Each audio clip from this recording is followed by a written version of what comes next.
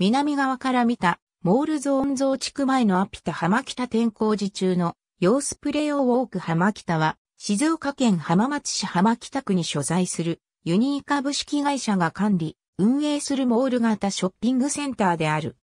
なお、当ページの店舗面積数値などの情報は、ユニーによって2007年10月4日に発表された、プレオウォーク、浜北開店のお知らせのニュースリリースに準ずる。2003年3月、アピタ浜北店としてオープンした。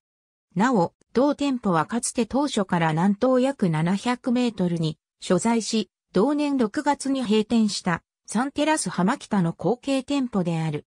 2008年5月、モール型ショッピングセンター化するための増築増床工事を行うために一旦休業した後、同年11月28日、ショッピングセンター全体をプレイオーウォーク浜北と改め再オープンした。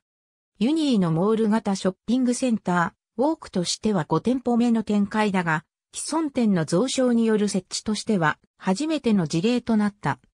店舗連結の際、かつてアピタムネの店舗南側にあった立体駐車場へのスロープを撤去している。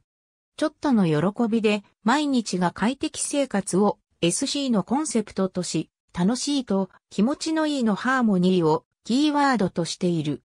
プレヨーは喜びや楽しみを意味するプレジャーと浜松市が音楽の街であることからハーモニーを合成した造語である。